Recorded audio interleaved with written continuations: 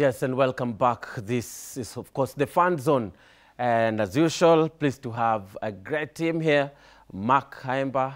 Oh, I should begin with Tiras Waiyaki here. You know, tulikuwa na yeye in the opening session, the sports pages. Sawa. Karibu sana tena. Asante Tiras, right? Asante. Mark. Thank you. Great one. And Wendy, good to see you. Good to right? see you too. It's been a wonderful week for you, Wendy. Exactly. Mhm. Uh, so it's so unlucky that we predicted Harambee Stars mm -hmm. beating Cameroon or maybe draw, Mm -hmm. and luckily we were beaten. Mm -hmm. And luckily yeah. indeed, Yeah. right? Yeah. Now, what does that mean to our chances of qualifying for the AFCON? Very low. Mm -hmm. We have a very low chance. Maybe tukipiga Zambia, is it Zambia? Zimbabwe and Zimbabwe, Namibia. yeah. Uh-huh, uh-huh. Which we cannot promise that it is going to happen with the coach we have. Uh-huh. No way. Uh, Mark, we should still count our chances. I think we still have 1% to qualify in case we will defeat Zimbabwe mm -hmm. and Namibia. Mm -hmm. So if we defeat Zimbabwe and Namibia, mm -hmm. we will have around 10, is it 10? 10 points. Mm -hmm. 10 or well, 11. right now we are on 4, Four plus po- six, that would be 10. 10. Yes. Then if we defeat Zimbabwe and Namibia, mm -hmm. we will have 10. But uh, then Zimbabwe will have 9 points. So mm -hmm. we will definitely qualify for the tournament. But as things stand, We are I, d- I sure. don't give Harambee Stars a chance defeating Zimbabwe mm-hmm. at their at their home. So I think we should start saying Firat come next year at the mm-hmm. end. He should pack and go, and also the senior team. I think it's high time they dismantle that senior team mm-hmm. and usher in the under 20 because Yo. They are showing some signs of promise. So I think come in case they don't qualify or even if they qualify, mm-hmm. come next year mm-hmm. at the end of next year, mm-hmm. Firat, Firat and the, the senior team, I think it's high time we they usher in the under 20. That is the project uh-huh. from uh, Babu Namwamba. Yes. Yes. Let, uh, Tiras, let me ask you this. How should that transition happen? What are some of the key positions in the senior team that the young ones are knocking the doors on? We ha- uh, I can mention maybe one, um, Amos Wanjala. Yes. Right? The defender has been really outstanding. I think Aldrin Kibet should be getting one of those positions as well. But Right. I don't know about you. Yes, you've got Ochieng as well. at Mhm, right Byron, back. yes. Uh, right Byron, a very promising player. Right back. You've got William Wangi who had an outstanding game last Uh night. Although it's still early for William Wangi because he's just started shining as far as I'm concerned. Yes. Tyrone Karaoke, not yet. He's not Yeah, the he's- finished product. He's not Yeah, yeah, complete. Yeah. He loves dancing too much. And Be Uh, nice. the showmanship. Yeah, and you've got you, there's more to football than just that. Yeah, yeah, yeah. Because if you watch Aldrin Kibet, he combines shooting, yeah. he combines Dribbling. dribbling, Yeah. he combines running And with the yesterday he scored a solo goal. Yes, all the, that's just one of his combinations. Uh-huh. So I mean, you've got to do more than just that. Mm-hmm. And even now, I mean, when we talk of the changes, Mm-hmm. even when you look at the technical stuff, I think William Muluya, when you look at what he's doing at Kariobangi Sharks, and when you look at how passionate he is about Harambee Stars, and I'm not just saying this because I know him in person, and the fact that he got his cafe license this year, and you can see the improvement he's making as a coach, uh, f- having s- uh, since he graduated with the cafe license, you can see it's reflecting in his It's the top team right now, joint top on 10 points Yes. with KCB, yes. And sometimes I watch him when he's there with Harambee Stars. He looks frustrated, maybe because he can't make the final decision. you know, the yeah. backstops with the top man, Yeah. who's Engin Firat, uh, the head coach. I think William ulua is a guy who we can look at as the next coach of Harambe Stars. mm. On a serious note. Mm -hmm.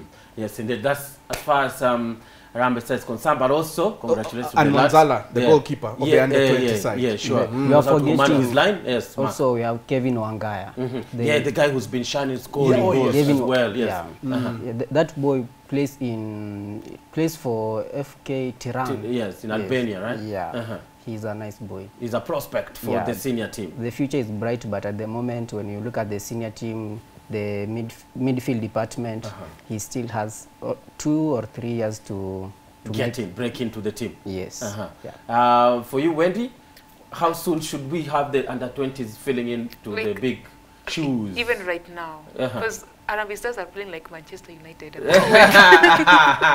Honestly, wana fumble. Eh, wana fumble, They're really eh? fumbling. ati wana celebrate kufunguliwa But kwa they bucha improved in anyway this yeah game. What? We, we can say they improved in the second. Yeah, the- Okay, in the that's sec- that's Harambee Stars. They will fail in this one. The next Uh. one they will give you hopes. Then the, the other one they will fail or What we are calling start, stop, stop, start. Yeah, yeah, exactly. Yeah, yeah, That's yeah, yeah, Saturday. but it's Yes. usual in football, Yeah. right? That's, I mean, we also maybe more importantly, the under 20 through to the Africa Cup of Nations in next year in South Africa, and they, they have a, they have to, we have to go to the airport and, and, and receive them when they have that, yeah, Trophy. the big trophy, Yeah. right? The CECAFA under 20 trophy. The Kenya has never won it. Uh, Yes. we always lose So it to. Uganda and, you know, and- and Tanzania. Tanzania. So I like in 2019, we also with them in the final. But at that time, Tanzania. not two teams were going to the AFCONs, right? But yeah. this time around, I think it's so uh, beautiful for us. Kenya is building up to hosting the CHAN next year, and it's, it's a good thing for us to be regulars in this tournament, right? yeah. Yes. yeah, uh, whatever the age group is, Yes. seniors and every, Yeah. ev- should not be a, a big problem for us to qualify for AFCON like But we now are struggling also right we have now. to prepare because uh-huh. every time we've gone to AFCON, mm-hmm. we're knocked out in the group stages. We better do so, well. So we better do well yeah, so that when we go to AFCON next time, we're looking at beyond the group a threat. Yeah, we appear like a threat. mean, and we have a it's promise. a shame when Uganda go beyond the group stages and Kenya, Uh, Uganda was the finals in 1970. 78. Yes, They, They lost, lost to Ghana. narrowly to Ghana, 2-1. Yeah. And then AFCON 2019, Yeah. remember they made the knockout phase. Yes. And around that time, or just shortly thereafter, almost qualified for the World Cup of 2022. So, I mean, Uganda struggled to, to draw with us, let alone to beat us. Uh, we've so what happens to us mm-hmm. when we go beyond the Migingo Derby? Mm-hmm. Eh, mm-hmm. what happens to us? Uh, what, why do we get weak in the knees? So yes, the talent is there, but it takes more than talent. Yes, indeed. Now, on to the um, subject here, subject matter, which is the English Premier League or European football, if you may ask me. But big games coming up this particular week. And also, it's interesting that we, after the international break, no coach has been sacked. Yes. Um, Many were expecting came Ten Ten Hag, Hag, but Ten Hag's life was in danger. yeah, Wendy? I'm saying Ten Hag's life was in danger. He was Uh-huh. almost going, but Uh-huh. I think I they think did, they did sack a What, former what, what, what has My- made him to stay, to remain in his position? maybe he's promising words. Promising words, They not keep him in the performance, plan. Mark? I think the new management mm-hmm. want, wants wants to have patience with him and see how how far can he go. Mm-hmm. But in the next six or seven games, mm-hmm. in case the results won't, won't improve, I think Ten Hag won't be Do, Manchester I, United. I mean, do you think that maybe Ten Hag is just a bit lazy because out of like 11 signings that he did, or not almost all of them were from uh, the Dutch? Do you think he's just lazy or he mm. cannot research over and beyond Dutch football? I think the moment he signed those players, mm-hmm. personally, I criticized him because mm-hmm. he's going for tho- those players. he- used them when they were at their they were in form. So, Prime, yeah. but at the moment, their mm-hmm. form is below the standard that requires to play for Manchester United. So, I, he went for them just to save his job, but at English Premier League, mm -hmm. you cannot just go for someone to save your job. You mm -hmm. have to go for the quality, mm -hmm. not just for the quantity. But they did sack a former coach, Yes. Manchester United. Sad. Yes. Um, that's Alex Ferguson of all Yeah, people. yeah. Uh, he's now no longer the ambassador. Ambassador. Cost-cutting measure, do you agree with that? Manchester United. And A man who has a stand as a him. director, he mm-hmm. was sitting on the board, mm-hmm. so now he wouldn't be enjoying that director's box from which we usually see him What- as he's, what's- as he's the- watching the games. Yeah. And they're saying um, cost-cutting measures. That's just a PR way of saying. I mean, how do you get?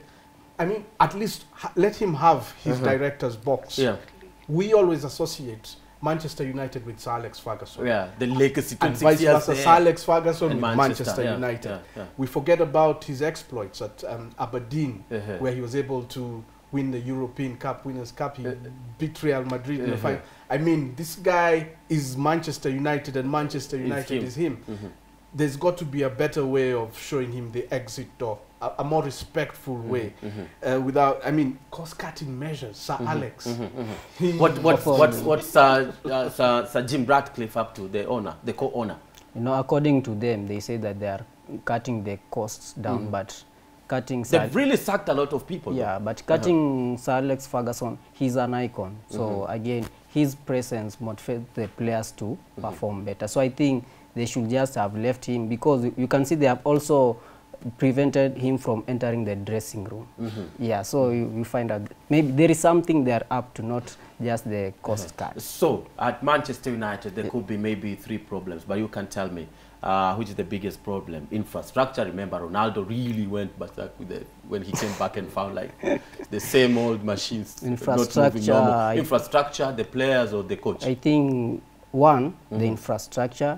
Two, they get players who are not to the standard of playing. so the players are part of the problem yeah, too. the attitude of the players. We Uh-huh. find that the they player. don't play for the coach. I think the players have their personal, like the player power Mm-hmm. is high at Manchester United, whereby the Ah, player uh-huh. can decide, can decide. The dressing room. Yes, Which so- Ten Hag is not in charge of the dressing room. I, I want to believe he's not because even Jose Mourinho had the same problem Yes, with the yeah, dressing room. yeah.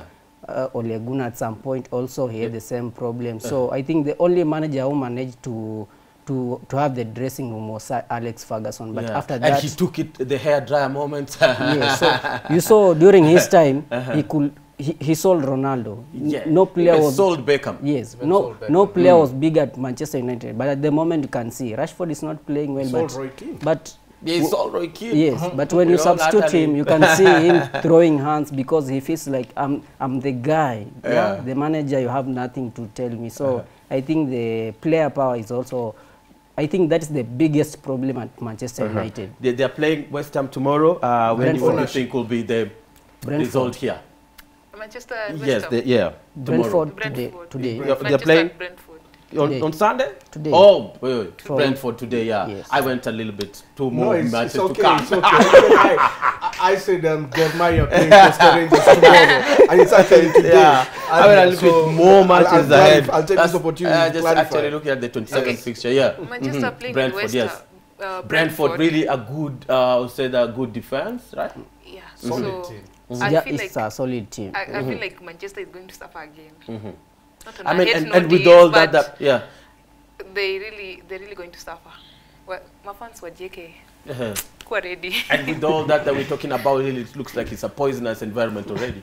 I think playing against Frank, the Brentford manager, Mm-hmm. we have seen Pep Guardiola praising him. At the moment, Brentford are playing Mm-hmm. some nice football. I think the best result Manchester can get is Mm-hmm. a draw. Yeah. Yes, And- against Brentford. Point number three that um, he didn't make, so let me just changia. Yes. That uh, with Manchester United, Yes, yes. is ownership. The Glazer brothers, very Yeah, controversial. by the- Sir, Sir And Jim now Ratcliffe just Ineos came have also in. entered Yeah, that yeah, mix. yeah, yeah. Even they are now becoming uh, less favorites of.